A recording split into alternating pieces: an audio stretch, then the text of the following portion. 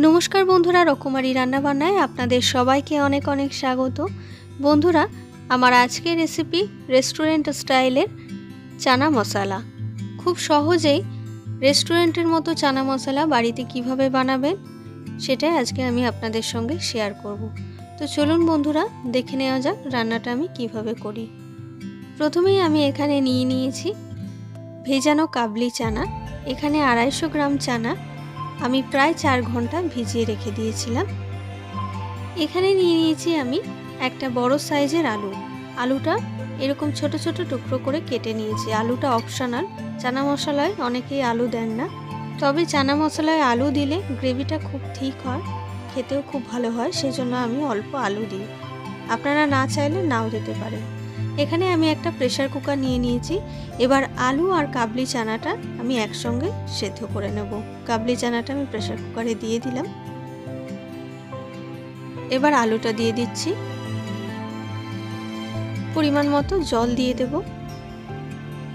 জলটা একটু বেশি করেই দেব, কারণ এই জলেই আমি পুরো রান্নাটা করব। এক্সট্রা জল আমি ব্যবহার করব না। এই জলটা ছোলা আর আলুটা ছেঁকে রেখে দেব সেদ্ধ হওয়ার পর। দিয়ে দিলাম একটা তেজপাতা, গোটা গরম মশলা, এখানে আছে এক ইঞ্চি দারচিনি, দুটো লবঙ্গ, একটা এলাচ। ওয়ান স্পুন লবণ দিয়ে দিলাম। হাফ স্পুন হলুদ দিয়ে দিলাম। এবার প্রেশার কুকারে দু থেকে তিনটে হুইসেল দিয়ে কাবলি চানা আর আলু সেদ্ধ করে নেব। কাবলি চালাটা যতক্ষণে সেদ্ধ হচ্ছে ততক্ষণ আমি একটা স্মুথ পেস্ট তৈরি করে নেব। পেস্ট তৈরি করে নেবার জন্য এখানে নিয়ে নিয়েছি একটা ছোট সাইজের টমেটো আর ছটা কাঁচা লঙ্কা। আর লাগবে আমার এক টেবিল চামচ চার মগজ এবার এই সব কিছুর একটা স্মুথ পেস্ট তৈরি করে নেব। টমেটো, কাঁচা লঙ্কা আর চার মগজের স্মুথ পেস্ট আমি তৈরি করে নিয়েছি। ওদিকে আমার কাবলি চানা আর আলু সেদ্ধ হয়ে গেছে, আমি প্রেশার কুকারটা খুলে দেখে নেব। একটা ঝাঁঝরা বাটিতে আমি কাবলি চানা আর আলুর এক্সট্রা জলটা আমি ছেঁকে নেব। দেখে নেব চানাটা কীরকম সেদ্ধ হয়েছে। দেখুন বন্ধুরা, চানাটা খুব ভালোভাবে সেদ্ধ হয়ে গেছে। কাবলি চানা আর আলু সেদ্ধ জলটাও আমি ছেঁকে রেখে দিয়েছি। আমি আগেই আপনাদের বলে দিয়েছি, এই জলটা দিয়ে আমি পুরো রান্নাটা করব। এক্সট্রা জল ইউজ করব না। কড়াই চাপিয়ে দিয়ে আমি ফ্লেম অন করে দিয়েছি, কড়াইটা গরম হয়ে গেছে। এবার আমি দিয়ে দিচ্ছি পরিমাণ মতো সর্ষের তেল।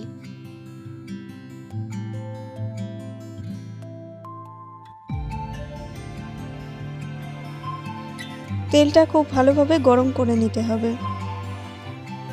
তেলটা গরম হয়ে গেছে, এবার আমি ফোড়ন দিয়ে দেব।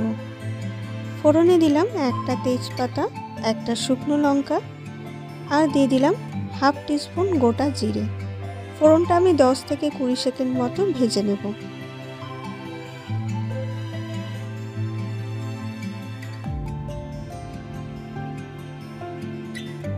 ফোড়নটা আমি কুড়ি সেকেন্ড ভেজে নিয়েছি। এবার দিয়ে দিচ্ছি পেঁয়াজ কুচি। এখানে আমি দুটো বড় সাইজের পেঁয়াজ কুচিয়ে নিয়েছি।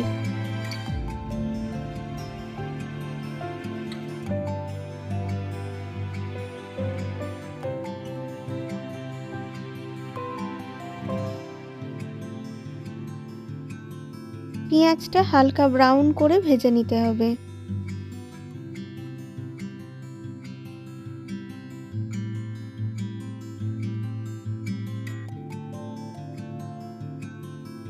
পেঁয়াজ হালকা ব্রাউন করে ভাজা হয়ে গেছে, এবার দিয়ে দেব টমেটো কুচি। এখানে আমি একটা ছোট সাইজের টমেটো দিয়েছি। টমেটোর কাঁচা গন্ধ চলে না যাওয়া পর্যন্ত আর সফট হয়ে না যাওয়া পর্যন্ত টমেটোটা পেঁয়াজের সঙ্গে খুব ভালোভাবে ভেজে নিতে হবে।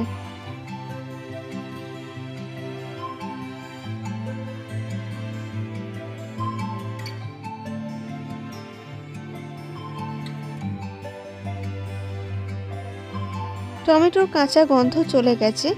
এবার আমি দিয়ে দেব আদা কুচি আর লঙ্কা কুচি। এখানে আমি পাঁচটা লঙ্কা কুচিয়ে রেখেছিলাম আর এক ইঞ্চি আদা। ঝালটা অবশ্যই আপনারা আপনাদের পরিমাণ মতো দেবেন।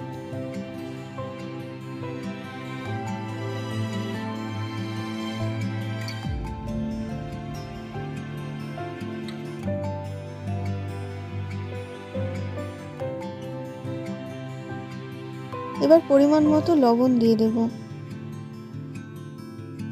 টু স্পুন আমি লবণ দিলাম।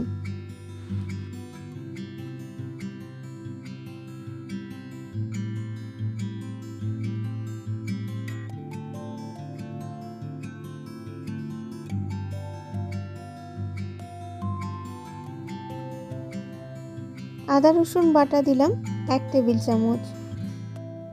আদা রসুনের কাঁচা গন্ধ চলে না যাওয়া পর্যন্ত কষিয়ে নিতে হবে। আমি এখানে যে আদা রসুন বাটাটা দিলাম, সেখানে রসুনের পরিমাণটা বেশি আছে, আদার পরিমাণটা কম আছে। যেহেতু আমি আদা কুচিয়ে দিয়েছি, তাই আদার পরিমাণটা বাটার সময় একটু কম দিয়েছি। বেশি আদা দিলে আদার ঝাঁঝ হয়ে যাবে, স্বাদটা ব্যালেন্স হবে না। এবার দিয়ে দিচ্ছি পরিমাণ মতো হলুদ।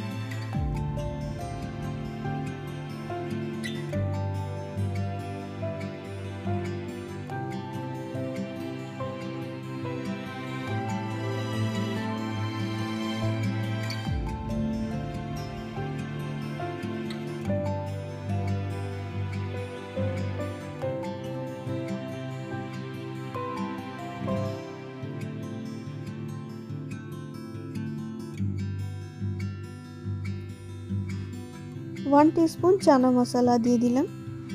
এই চানা মশলাটা আমি বাড়িতে বানিয়ে নিয়েছি। দোকানে যেটা রেডিমেড চানা মশলা কিনতে পাওয়া যায় আপনারা সেটা ইউজ করতে পারেন এখানে। মশলাগুলো ড্রাই রোস্ট করে গুঁড়িয়ে নিয়েছি। তাই মশলাটা যাতে ওভারকুকড না হয়ে যায় তাই একটু জল দিয়ে দিলাম।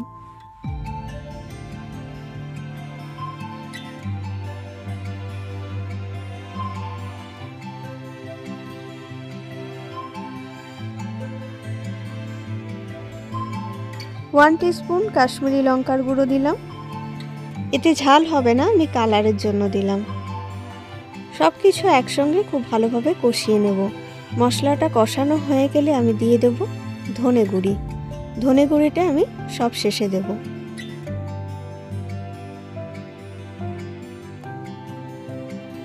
হাফ স্পুন ধনে গুঁড়ো দিলাম। সমস্ত মশলার যখন কাঁচা গন্ধ চলে যাবে আর মশলা থেকে তেল সেপারেট হয়ে যাবে, ধনে গুঁড়িটা তখন দিতে হবে। ধনে গুঁড়ির খুব ভালো একটা অ্যারোমা আছে, সেটা যাতে চলে না যায়, সেই জন্য আমি মশলা কষানোর সব শেষে ধনে গুঁড়িটা দিলাম।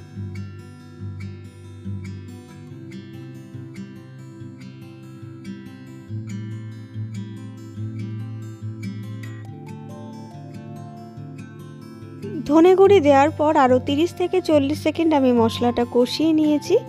এবার দিয়ে দেবো সেদ্ধ করে রাখা কাবলি চানা আর আলু।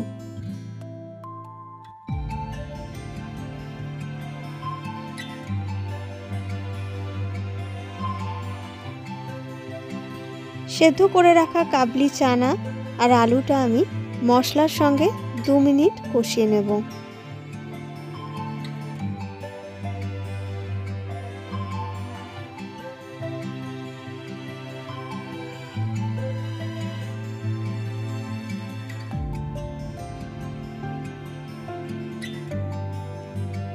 চানা আর আলুটা দেওয়ার পর আমি এক মিনিট মতো কষিয়েছি। এবার আমি চার মগজ বাটাটা দিয়ে দেব। চার মগজ বাটা দেওয়ার পর আমি খুব বেশি সময় কষাবো না। এক মিনিট কষিয়ে জল দিয়ে দেবো।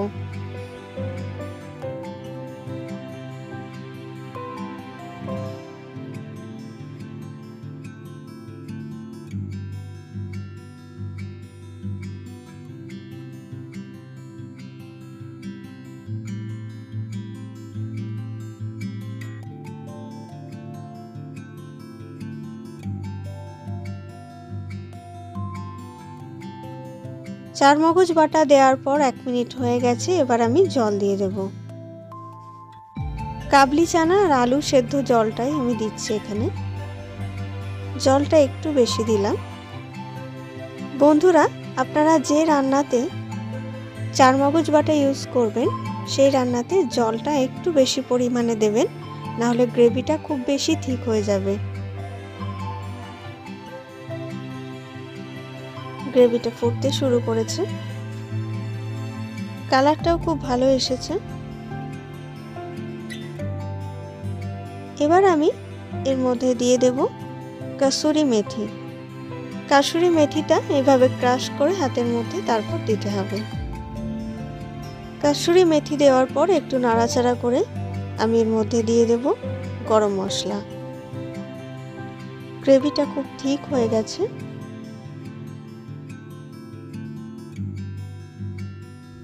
এবার গুঁড়ো গরম মশলা দিয়ে দেব। একদম সামান্য পরিমাণে গরম মশলা দিলাম। গরম মশলা আর কাসুরি মেথি দেওয়ার পর খুব বেশি ফোটানোর দরকার নেই। এবার আমি গ্যাসের ফ্লেম অফ করে দেব। রেডি হয়ে গেল আমার আজকের recipe restaurant style chana masala. আপনারা অবশ্যই বাড়িতে এইভাবে একবার ট্রাই করবেন আর ট্রাই করে আমাকে জানাবেন রেসিপিটা কেমন হয়েছে। এই রেসিপিটা আপনাদের কেমন লাগল অবশ্যই কমেন্ট বক্সে কমেন্ট করে জানাবেন। আর ভিডিওটা ভালো লাগলে লাইক আর শেয়ার করতে ভুলবেন না। আর আমার চ্যানেলটি সাবস্ক্রাইব করে আমার পাশে থাকবেন। ফিরে আসব আবার একটা নতুন রেসিপির ভিডিও নিয়ে। ভালো থাকবেন, সুস্থ থাকবেন, নমস্কার।